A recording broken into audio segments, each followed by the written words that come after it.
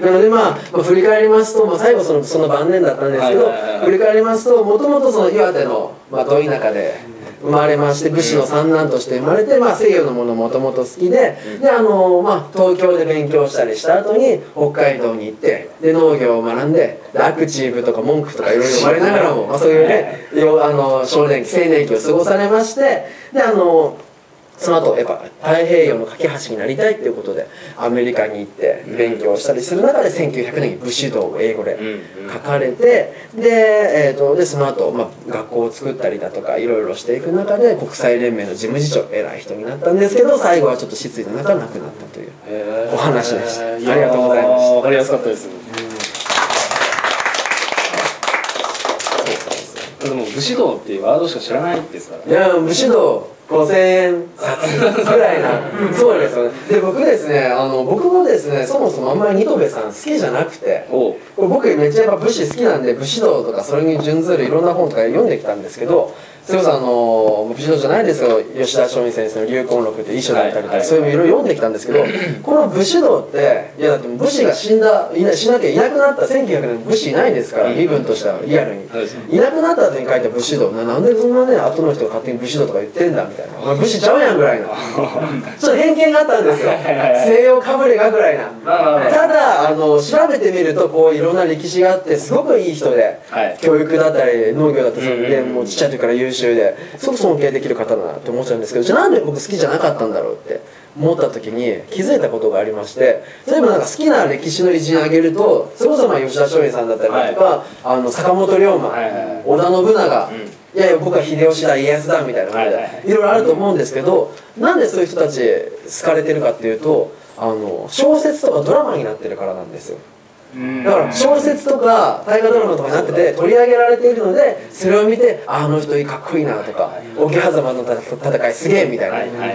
江戸幕府開いた人だとかってなって尊敬集めたりするんですけど新渡戸稲造さんは小説にもなっていなければあのドラマとかでもないですし皆さんまず知られてないから尊敬されることもないんだなっていうことが分かりましてこれはなんかやっぱその偉人っていうのはこうねこう掘っていくと絶対なんか何かしらすごいエピソードがあったりするのでこうコンテンツにとか残していくことが大事なんだなっていうふうに思いました。マ。ジですね。で新選組好きな人めっちゃいるのは単純に新選組のゲームもドラマも小説もたくさんあるから好きな人が多いんだなっていうことに決して稲造さんの魅力が劣ってるわけではないんだなっていうことが分かりましたでですね稲造さんがですねあの武士道の話行く前にですねあの稲造さんが3つに大三つの大事にしてることって人生において3つ大事だってはい。おっしゃってることがありまして、あのこれはあの卒業式で大学の豚城のですねあの卒業式でおっしゃったあの卒業のまあスピーチの中から抜粋させていただくんですけど、まあ、一つ3つのうち1つ何が大事かっていうと大事なこと大事なこと3つ大事なことがあると。何かというと1つ目読書だと。お。うん読書めっちゃ大事だと。これ吉田松陰さんも言ってらっしゃるんですけど、あの読書めっちゃ大事だと。このそのまま呼びますと,、えーっとこれこれ稲造さんのスピーチですね、はい。い、きますよ。例えば大根を作る時に肥料はどうする？大根を筋っぽくしないためにはどうする？などいろいろなことが問題になるが本を開けてみるとちゃんと書いてある。書物を読む力さえあれば世の中のことは大概間に合っていくと大根を筋っぽくしないためにはそんなことですら本に書いてあるよと。だから本は大事だよっていうふうにだから稲造さんらしいあの例ですね。大根を筋っぽくしないためにはそんなこと考えたことないじゃないですか。けど、まあ、そんなことですら本には書いてあるからやっぱ読書は大事だよっていうふうに。これが一つ目です。で二つ目は英語で日記を書くと。おお今でも言われてそうなことですけど110100年前できないよ英語で日記を書くと。で5行でも10行でもちょっとでもいいから英語で日記を書くのがいいですよと。であの、まあ、知らない単語が出てきたら辞書を引きましょう。はい。100年前から言われてるんですね。びっくりしました。これは見たことあるじゃないですか。英語でちょっと日記書きましょうみたいなことなんかね英語やる人がね。よく言われてますけど稲造さんも100年前に英語で日記書きましょうって。5行でも10行でもいいから書いていこうっていうふうにおっしゃってこれは2つ目英語で日記を書く。で3つ目が思想を養うと。思想を養うと。これどういうことかと言いますとまあもうちょっとなんか柔らかく言いますと、まあ、世の中に出れば、まあ、いろんないろんな大変なことがあるけど、まあ、それを逃げずにうん大変なことから逃げずに逆にその大変なことを利用して自分の人格を一層高めていきましょうねってなんか嫌なことあっても逃げちゃダメだよと。それを逆に利用してあのもっと自分を高めていきましょうっていうふうにおっしゃっています。なので、まあ、3つ。読書と英語で日枠、はいはい。そしてこの思想を養う。この3つが大事だっていうふうにおっしゃっています。これは別に普通に今でもああってなるようなことですからね皆さんやっぱ教育者としてもすごい方だなと思うんですけど何かここまでで質問とかありますか？この後武士道のお話に行きたいなと思うんですが。どうですかね？このホワイトボード悲しすぎるので。あどうもたまたまですよね。そあの農業的な。そうですね。糸びなその。確かに稲作るあ怪しいですねいや稲造稲を作る。たまたこれたまたまですか稲之助って一緒になってから名前で稲造。たまたまでも岩手がだから稲所っていうかそういうあまあまあ米どころ。そしたらみんな稲子とかね そう。そう稲子とかでも稲を作るでも名は手を表すと言いますけどまさにそうですね。あの大根の説明を。これ大根それはねそんな団大根作らんからねそんなね。大半の人そうですね。農業の人だったんですよ。そのじゃあ稲造さんが書いた「武士道」っていう本武士道はい。それ読んだことある方いらっしゃいますか本来一節ったら知らないですよね。武士道って本があることは知ってますか？それはあるらしいぐらい。うんですよね、これもですねまあじゃあじゃあこのじゃあ本の中身とまずこの稲造さんの本が「あ武士道」っていう本がどんなものなのかってお話ししたいなと思うんですけどあの、まあ、さっきもあったようにですねこの武士道。この武士道という本1900年に出されましてその経緯というのは日本が日清戦争で勝利してあれってヨーロッパとかアメリカからしたらそんな国あったのぐらいなうんうんノリですからね。中国に勝っちゃったと。っていう中で、まあ、でもなんかその腹切りとかなんか果たし合いをするんじゃないかみたいな。そんな話しかあの世界中に広がってなかったのでめっちゃ野蛮なやつじゃないかみたいなことしかでしか知られていなかったのでそこに謎さんあのあの太平洋の架け橋になりたいっておっしゃってたぐらいですから日本のことを知ってもらいたいなってことで1900年に書かれたんですけどまずですねめちゃくちゃ読まれてるんですよ。はい。僕らもさっき知ってるけど読んだことないってみんなおっしゃってましたけど世界中ではめっちゃ読まれてましてあのまず30カ国以上で出版されてるんですね相当ですよ。30カ国カ国以上で出版されていてでさっきも出てきた読んでいた人すごいう人たくさんいましてあのさっきのアメリカのルーズベルト大統領さん。あの日露戦争の時にこの日本とロシアの仲介になってくれたルーズベルトさんなんですけどあのでその仲介した時にですねポーツマス条約っていうねあの猫ひろしさんがポーツマスポーツマスでやってらっしゃいましたけどそんなのあったりなかったりしながらですね余分な話はされましたけどあのそのポーツマス条約であのじゃあルーズベルトさん仲介してくれたんですけどなんでそんなねわざわざこんな僻地まで来て仲介してくれたかと言いますとですねあのまあその仲介した時に語った有名な話がありましてルーズベルトさんがですねじゃあなんでこう仲介してくれたんですかという時にですねあの日本に対してあなたの国のことはよく知らないけど、はい。あなたの国の国のことはよく知らないけど武士道なら知ってるよって言って仲介してくださったえもう武士道じゃないですか。武士道がめっちゃ読まれていたので日本ではあんまり分からんけどこれめっちゃ読んでて知ってるからまあ悪いやつじゃないんだろうなってことも分かるしあの仲介してくれたっていう。そんなもうめちゃくちゃこれじゃないですか。いや本当まさにこれなんですよ。でということでだからルーズベルト大統領さんもすぐ読まれてましたし、えー、と他にもあのケネディ大統領はい暗殺されてしまうんでケネディ大統領もすごく読んでらっしゃいましたしあのこれ最近の話エジソンさん。はい。エジソンさんって言いますよね。あの、あの先ほど下げます。エジソンさんいますよね。有名なその発明王、はいエジソンさんも読んでらっしゃいまして。でなんでエジソンさんこのね研究者関係ないじゃん。武士道と関係ないじゃんと思うんですけど読んでらっしゃったから言いますとあの電球を作ったエジソンさん。はい。いますよね。であのフィラメントっていうこのチカチカ光る光る部分をあの作っていた時に今まで6時間ぐらい持つなんか物質あったんですけど、はい。なんか6時間電球切れちゃダメじゃないですか、うん。でもうちょっと長持ちするものないかなっていうことであの世界中の木材で試すんですね。このうんフィラメントって呼ばれる光る部分を。だところであのもう本当何億とお金をかけてで世界中から1200種類以上の木材とか集めてフィラメントを試してみたところなんと京都の竹が一番長持ちするってことが分かりましてで京都の竹を使ったところ今まで6時間ぐらいしか持たなかったのが何百時間と。何百時間。何百時間の桁違いに持つようになって電球って発明されたんですねっていうこともあってあ日本すげえじゃんってなってあの武士道読まれてたりですね。あの打足なん余余談なんですけどあの最近東芝とかちょっと話題になってますよね、その自粛決済的なことで。あのその東芝とか NEC を作った NEC とかありますよね会社。東芝とか NEC を作ったあの初代社長の初め作った人ってエジソンさんのところで研究つか手伝ってらっしゃったんですよそうなんですよ。で結局エジソンさんは日本に来ることはなかったんですけどその助手の中にもその東芝とか作った、うんうん。ね、人がいたりしたんで日本のことにすごく関心があって武士道も読まれていたって。まさか100年後こんな風になってるとはね東芝作った人思ってなかったと思いますけどそんな話もありながら他にもね最近の人だとトム・クルーズさん。はい。トム・クルーズさんの映画知ってます？あのあとオールユニード好き。えそういうのじゃなくてそういうのじゃなくて知ってます？ラストサムライ。ラストサムライ。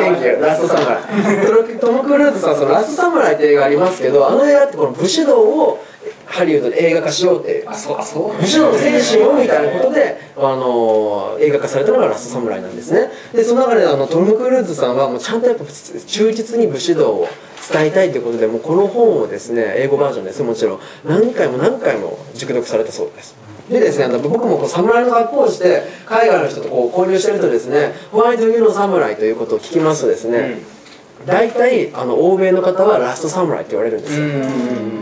まあ、あの東南アジアの方はサムライ X あのルローニケンシアニメって言われるんですけど、欧米の方はやっぱり映画見てらっしゃるのであのラストサムライの印象がすごく強いようでこれ100年後やっぱり引き継がれて、この本まあ、めちゃくちゃいろんな人に読まれてるんですけど、まあ、じゃあざっくりどんなこと書かれてるのって武士道って俺ら関係なくて俺武士じゃねえしと。僕は武士ですけど皆さん関係なくねっていう話になると思うんですけどこれどういうことが書かれてるかと言いますとですねあの武士道なんですけどじゃなくて日本人の日本文化論みたいな。日本人とはとは日本の文化とはみたいなことが書かれているのがこの武士道っていう本なんですね。で、まあ、なんでかというとこの武士道の副題で「The Soul of Japan」というふうに書かれていまして、まあ、日本の魂みたいな風に副題がついてるぐらいで武士道って武士のことだけじゃなくて日本人とはみたいな日本ってこんな国なんだよみたいなことが書かれてるのがこの武士道っていう本なんですねであの、まあ、厳密にはですねこの武士道っていう本はこの本なんですけどその他にもその武士道ってじゃあそもそも何かっていうとあのいろんな日本の人たちのいろんな今まで例えばその吉田松陰さんの遺書もしかり西郷隆盛さんの遺書とかもそうですしあのしあのあの宮本武蔵さんの五輪の書。宮本武蔵さんに二刀流をしましたから。み 宮本武蔵さんの五輪の書とかそういういろんな武士の心得みたいなものが集まって武士道武士のなんかそのあのこう果たすべきものだみたいなところあるんですけどあの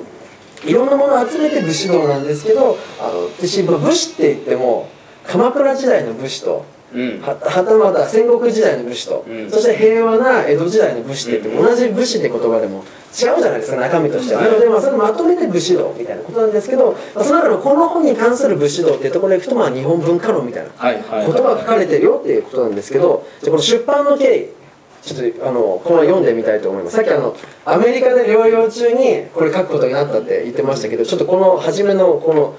あの序文っていうところですね。そのままあのちょっとやめっちゃ訳して読んでみたいなと。どうしてこれ書いたかって稲造さんの言葉です。約10年前。えーと著名なビベルギーの。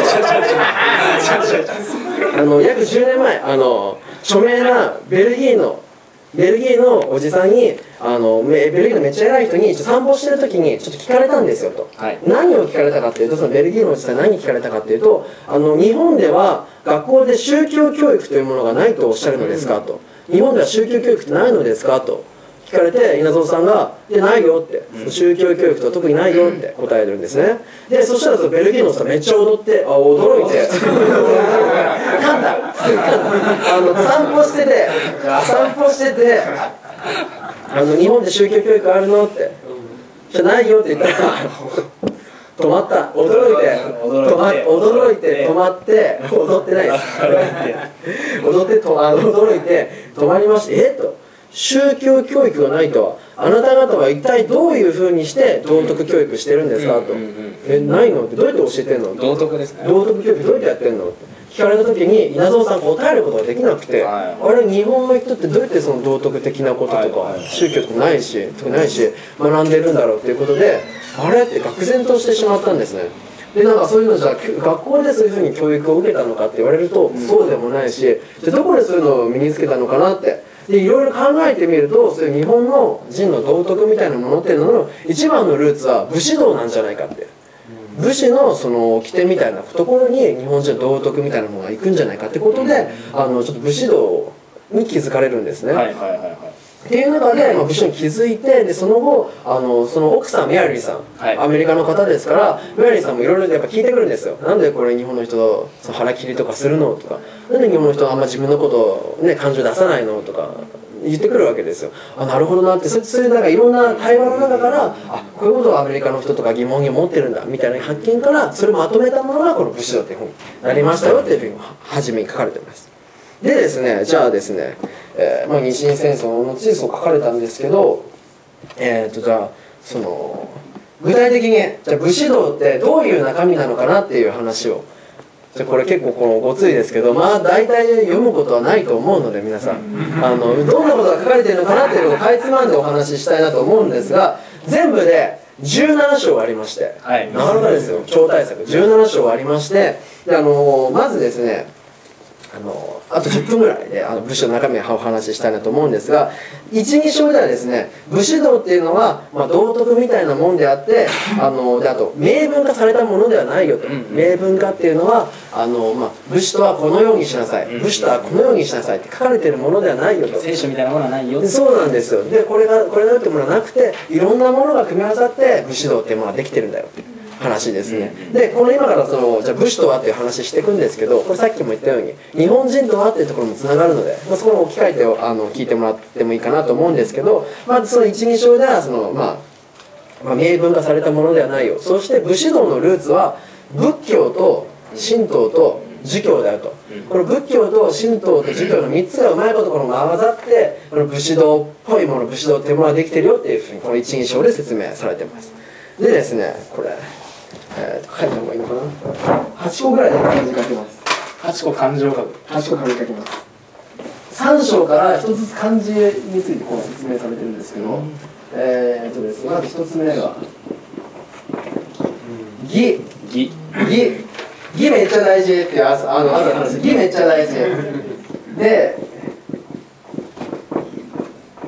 義がめっちゃ大事。やるために勇気大事だよって。うん。で、えっと次が仁仁これは赤西仁とかじゃなくて仁っていうのは他者への弱者への思いやり優しさみたいなやつです。で次が礼礼ですね。礼でその次が7個目が1234えーっと。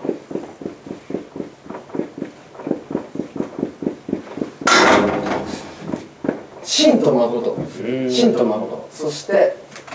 えー、と次あと2つ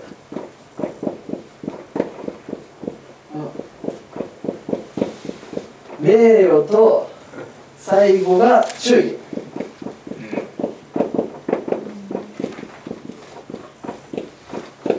えー、とこの義と勇気仁で真と誠名誉忠義。この7個が大事だっておっしゃってるんですけどこれは3章から9章まで1つずつ大事だって書いてあるんですけど1つずつざっくり説明していきますとまずこの義っていうのは、えー、と正義のこと。わかりやすく正義のことであの武士として行う当然のこと。どういうことかっていうと、まあ、悪いことしちゃダメだと。いいことしなきゃいけないよと。なんかあの、まあ、志みたいなのとちょっと似ていまして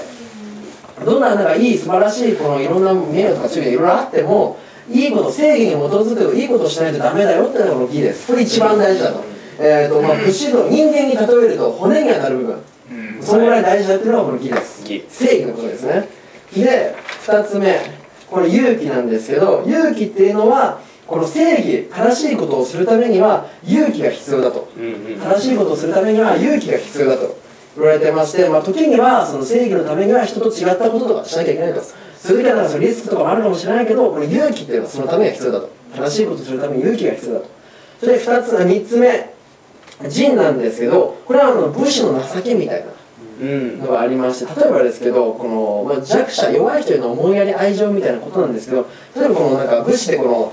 果たし合いみたいなこう切り合ってこう1対1で果たし合いみたいなした後に、まあ、じゃあこう僕はソフィー君蹴りましたと。やられたと。やられた後切った相手をこうなんか自分の袴とか脱いでこうかけてあげたりすると。あでその西洋の人からするとえなんでその自分を殺した人なんかもこうやってほっとけばいいのにかけてあげたりするのみたいな、えってなるんですけどそれは仁だと弱者への思いやりだと別にないです いやいやでも素晴らしいこといやそうなんですよ。ででも逆に西洋の方がちょっと受けにくい気がしますけどね。打ち切ってそのままみたいな。かわいそうじゃない。いやでもなんかあのこれなんなんでその今まで一生懸命殺した人こうやってあげるのでこうこうこうねそれはなんでかっていうとこの仁だと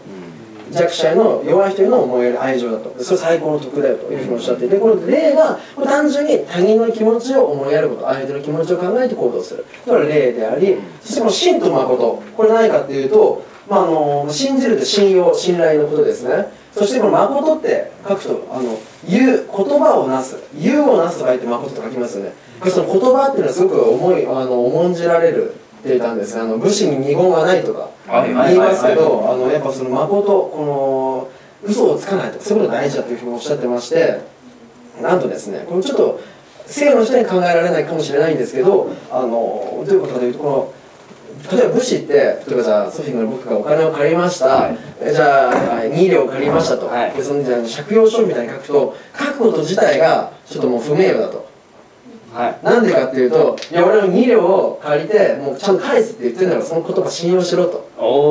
わざわざ文字に書くことすらちょっと不名誉なことだってなるぐらい言葉っていうのが重んじられていたっていう。それやっぱなかなかねその西洋の契約論みたいなああの文化とは相入れない部分なのかなと思うんですけどそれはまあ言葉っていうのも信用武士に違法ないと。性善説的なとこなんですかね。そうですね。間違いないです。孟子さんの話が来てるかもしれないです。でそれ最後のあと2つなんですけどまあ名誉さっきも言いましたけどこの名誉ってのが一番大事でその名誉のためだったら命も惜し惜しまないと。そこら辺からも切腹とかの話につながっていくんですけども名誉が一番大事だと。でその最後は忠義。忠義っていうのはあの祝仕えてる人へのこの忠義ですね、あのなんですけどじゃあこれじゃあなんか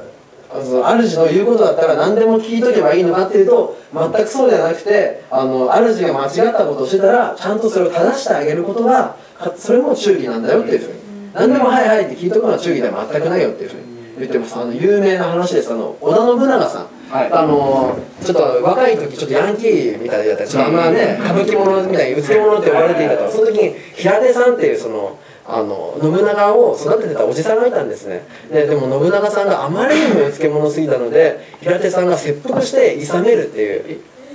話があるんですよ。そうなんですよ。信長さんのそのそそれからそれを機に信長さんがちょっと立派になっていくみたいな話があるんですけどあのこれはまさに忠義でそれですね1600年から400年以上前の話ですからでもまあ忠義っていうのはまあその何でもいいよっていうんじゃなくてあの時には命を懸けてでも主君の主のもう行動を行う正すっていうのも忠義だよっていうふうに。これはですね、まあ、3章から9章までこの言葉一つずつについて説明されていましてであと残り17章のうち残りの8章ぐらいなんですけど、まあ、10章ではですねあの武士の教育について書かれていまして何かというと武士の教育で一番大事なのは剣術とか槍とかそういうものではなくて人格形成だと。はい。だからまずあの人としての、えー、とあり方が一番まず大事。その後にいろんなその剣とか槍とかその、ね、読み書きとかのがついてくるんだよ、まあ、人格の形成が一番大事だよっていうふうにおっしゃってます。で11話では国国旗。はいはいはいはいはいはい。国旗国旗と書くね11章で国旗。これで忍耐について述べられていてですね。これさっきのあの日本人あんまり感情を出さないとかそういうなんか怒ってても怒りを出さないとか言われますけどなんでかっていうとそれ国旗。忍耐の心から来ていると。どういうことかというとあの、まあ、武士はちっちゃい時から子供の時からあのその感情が高ぶったからといって泣いたりしてはいけないと。感情をあらわにしてはいけないというふうに教わってきたと。でなんでかっていうとその自分の辛い状況とか不満を口にすることは相手を不快にすることだと。あ なんかもうなんか例えばですけどなんか嫌なことがあってわーってすごいそればっかり言ってたら聞いてる人が嫌な気持ちになると。だからあのそう後期忍耐の心が大事だよというのは11章で述べられています。でその後はですねあの12章で切腹と仇討ちについてだったりあと刀日本刀刀ってなんだって。刀ってなんだ？あの武士の魂と言われてますよ。刀ってなんだっていうこととかもお話しされてまして、えー、と例えばですねあの江戸時代とかってめっちゃなんか殺人起こってるイメージあるじゃないですか。あの僕ら。あれなんでかっていうとやっぱあのドラマとか見てた時に 切り合いってやっぱ盛り盛り上がるんですよ。見てても、うん。うんうんあーって、うん。暴れん坊将軍もそうじゃないですか、うん。うん切ったりしてるとあーって盛り上がるじゃないですか。だから切ってるイメージあるんですけど実際はそんなになんか殺人の件数はもちろんなく今の日本と同じぐらい殺人の件数でパーセンテージで見るとすごい少なかったんですよ。だからそのドラマとか見て切り合ってるイメージあるけどなかなか使ってなかった。刀で解決しなかったと。なんでかっていうとそのなんか問題物事があった時に刀で解決するやつはバカだっていうふうにおなんでかっていうと刀で解決するってことはあそのなんか例えば議論で解き伏せたり、はい。い、やあの人の言うことならあの人の言うことだったら聞こうみたいな得みたいなものだったり、うんそういうものないから刀で解決するってだか最終手段なんですね刀で使うのは。し刀で問題解決するのはあんまり野蛮で良くないことだって。だってね人格がある人だったら別に刀わざわざ使わなくても相手にね説得したりできるわけですから。っていうところがあってんあの日本刀ってそんな使われてなかったっていう。へえまあ、でも言われてみればそうじゃないですか、わざわざ切る必要ないですからね。うん。こう喋っててそれでね。それは江戸時代後半とかの話でも結構江戸時代とかの話ですね、もう江戸時代もずっとずっと結構平和。なんかなんかお役人の前に子供が出てっちゃったら「あさ」みたいなの聞きませんよ多分ドラマのあドラマの感じだと。本当にドラマの感じだと。そうなんです。そういうイメージついちゃってますもんね。いやあんまそんないやむしむやみやとね刀使うのうんそうそうそう。不名誉だって。うん。ふうにさされてたって話だとかあとは14章では女性についても書かれていましてあのあのなんか例えばですけど、まあ、僕が普通の侍だとしたらお城に行ってあの主君に使いますと。それと同じように女性は侍やその旦那に使えるんだと。いうなんかそういうふうに書かれてるんですけどじゃあこれは結構な男女不平等みたいな、うん。あの女性べしかって言われるとそういうわけじゃなくて全く違ってあの女は3歩下がって歩くみたいな。話聞いたことありますよね。こう歩く時。女性が3歩歩く後ろを歩くと。男性の後ろ3歩後ろを歩くと、なんでかっていうとやっぱ女性がだってレディーファーストって言葉があるじゃないですかそれと対比するとまあやっぱ女性蔑視なんじゃないかと考えられたり言われたりするんですけど全く違ってなんでかっていうとあのもし襲われた時に3歩前歩いてたら守れないじゃんかと、ちゃんと守らなきゃいけないってことで後ろ3歩後ろ歩いてる。すごいかっこいいじゃないですか。そうなんですよ。意外とかっこいいですよ。すごいかっこいい。意外とかっこいいですよ。っていうことが書かれてるんですよ。女性のあり方みたいな。はいはいはい書かれていてで最後15 17章の最後15章では、まあ、これはいろいろ書いてきたけど武士だけの話じゃなくて日本の文化論だよと。日本人の今の人に当てはまることなんだよっていうこと書いてで16章17章では最後あの、まあ、ままとめに入ってましてえっ、とまあまあ、日清戦争で勝ったのはそういう武士道とかもあるよみたいなこともありながらしかし、まあ、世界の潮流っていうものはあの功利主義や唯物主義であり武士道はその波にかき消されていくだろう、うん。まあ、どういうことかというと、まあ、そのやっぱ損得とか、まあ、資本主義みたいなのが入ってきますしそういうものに武士道みたいなものっていうのは、まあ、熱されていってしまうだろうと。でも、まあ、完全に消滅することはなく何かしらの形を変えながらも武士道っていうのは生き続けるだろうというふうに締めくくられています。ちょっとそれが武士道でし素晴らしいですね。いやいい意外といいこと書いてます。最後のまとめ方もすごい現実的といいうか。やでも確かにあのもちろんね資本主義でこうね、うん。なってきてますけども武士道の今ね、うん。さっきの国旗みたいなの普通に残ってますしね、なんかね今にも通ずるものたくさん残,、ってね稲造さんもね浮かばれるっていうかね。そうですね背筋が伸びる思いあ本当ですか？もう。一応先輩ですしすぐやめちゃいました。け どレベルが低いいやいやいややめちゃったんですけど。そうなんですよ。なのであのもしまあ武士道ちょっとこれで興味持ったって人がいればですねもうこれいきなり読むとですねやっぱこれ訳してあるんですけど日本語にあ現代語に。読みづらいのでこういう武士道入門って書いてある。この本のための本これを分かりやすく書いた本です。これちょっと見てみるとですねあのまあこう英語バージョンの表紙こんなあったよみたいな。まず写真が大きい。字も大きい。読みやすいでこのいろんな国で翻訳されてたよみたいな話に始まってですね為末大さん陸上選手僕も読んでますみたいな。あそうなんだっつって。その次びっくりしますよ。仮面ライダーの人。読んでます読んでるわね。ぽいななんて。いうところから入ってあ読んでんだっつって。でまああのじゃあどんなもんかなってこう大きい字で書いて。あわかりやすいですね。大きい字で書いてあって。あとこのねあの中心蔵厚労省の地理の話だったりとか。まあなんかいろいろ書いてあるのでこういうところから読んでみる。とこれアマゾンで1000円ぐらいで買えると思うので。ぜひこれ興味持った方読んでもらいたいなと思います。それでは皆さんえー、ニトベイ謎に学ぶ武武士道でした。ありがとうございました。後ろ戦争なりなんなりって。そうなんですよ。ね僕はでもですね元「はがくれ」っていう本の方をしてまして知ってますか？はがくれって。聞いたことあるはがくれっていうのはあの1600年あの、まあ、江戸時代の初めの方に戦国時代終わってすぐ後ぐらいに書かれた「はがくれ」っていう本なんですけどこれ三島三島三島こと三島由紀夫さんが「はがくれ入門」という形でその「はがくれ」っていう書物を訳してらっしゃるんですけどこれは僕も本当高校時代からそれこそ中二病の至りですね読んでましてあの部活の時ポカリがかかったらしか汚くなってるんですけどあのいいこと書いてあるんですよいろいろ。武士道例えばですねあの究極の恋とはえ究極の恋とはってことも書いてありましてこの花くれに。は教えてくださいその時その時僕が救われたフレーズなんですけどこれもオフレコなんで言うんですけどあの究極の恋とは一生伝えない忍耐だっていうふうに。うわうわーってなるんですね。えーってなることか。そうなんですよ。だから一生伝えないのが本当の本当の恋だみたいな。モテない人だったんですかこれ書いた人がかもしれないですでも西山が書いたりしてて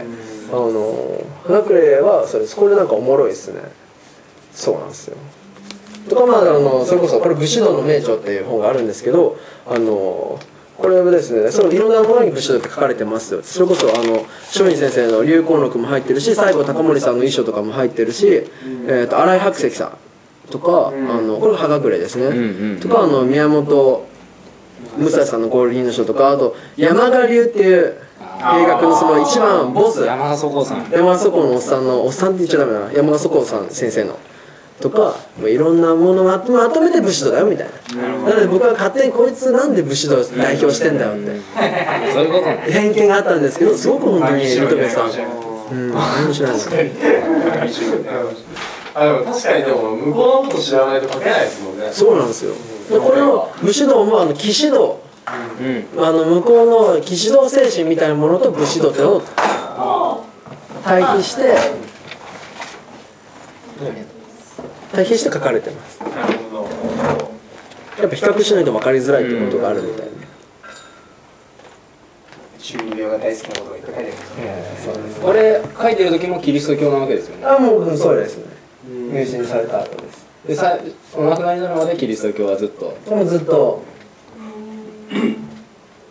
それなんでその融合した何何かを提唱されてましたっけ？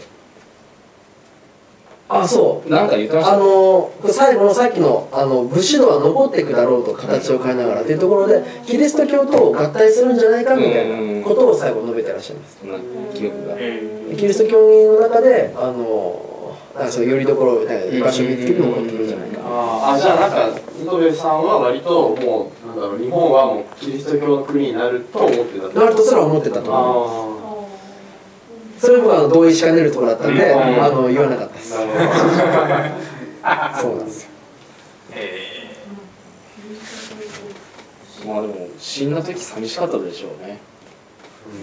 不遇の。最後の方最後の78年は。相当だってそんな権力者が歯立たないような軍部だったってことですよね。うん間違いなくそうです。最近僕ずっと戦争とかの本ばっかり読んでるんですけど。あのなんか有識者みたいなのがクーデター受けていることですか？いやなんかもう言いづらい状況になってたんですよねそういうこと。を誰が悪いんでしょうね。やっぱ軍部の人たちですよねそうなんです。最近中国と台湾の歴史ばっかり調べていたのでそれの戦争の歴史がめっちゃ読んでたんですけど。あの渋沢栄一さん A ちゃん。あ A ちゃんのあのこれ喋ってて大丈夫なんですか？